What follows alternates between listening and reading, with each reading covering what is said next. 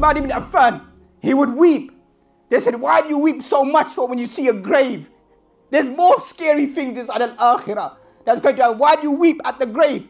He said, because the Prophet, the messenger said to me, Inna awwal al-manzil manazil akhirah al-qabr. The first station, the station of akhirah is the grave.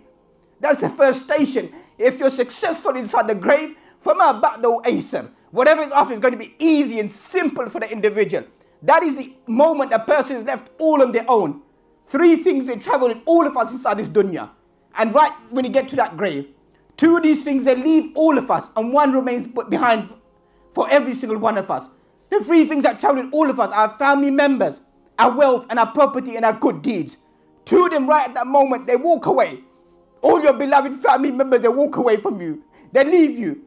When they walk away and the final steps have walked away from you, those two angels then enter and they raise the individual up inside the grave and they pose those questions to him. The only thing that will remain is our own actions. This over reliance on people that somebody will help me, someone will save me, someone intercede for me, someone come and do these good deeds for me. This is what many of us Muslims have become in the daily grind of our life, even haram things. We speak to people who do haram things, they grind this haram. They deep have a deep conviction. This is what I want to do inside my life. I want to, to obtain this. Even non-Muslims, don't be surprised. Don't think everything about is, is dark and gloomy. They enjoy the things that they do. They love the things that they do. They like them.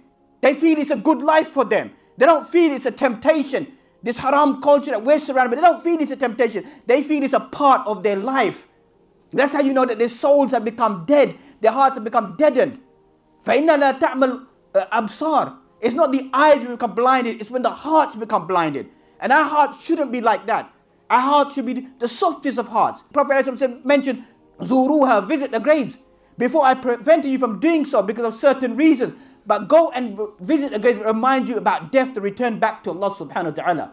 So this is what the, the grave, the death should do to an individual, is awaken the individual in my preparation to Allah subhanahu wa ta'ala. That all of us have to meet Allah subhanahu wa ta'ala. And the third time that Allah subhanahu wa ta'ala mentioned inside, inside Surah Al-Ankabut, inside 29th chapter of Quran, Kullu nafsin da'iqatul maut.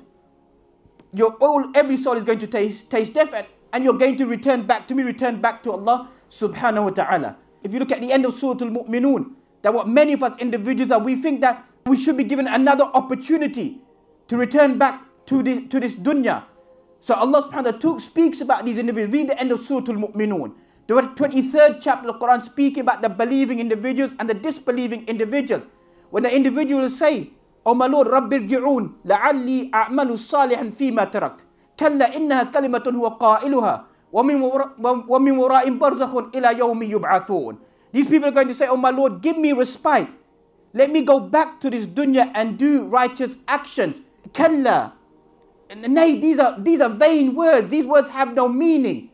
إنها كلمة هو قائلها These are just words. You had that ample opportunity inside your life to repent, to return back to Allah subhanahu wa ta'ala. أينما تكونوا يدرككم الموت ولو كنتم في بروج مشيدة Inside Surah An-Nisa you find wherever you are, death will come to you. Even if you happen to be inside your fortified palaces, it will come to you. You cannot escape from death.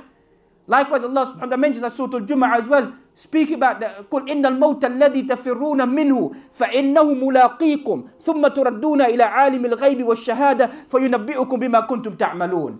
Allah says that you know that death that you're trying to run away from. That's the literal description of this.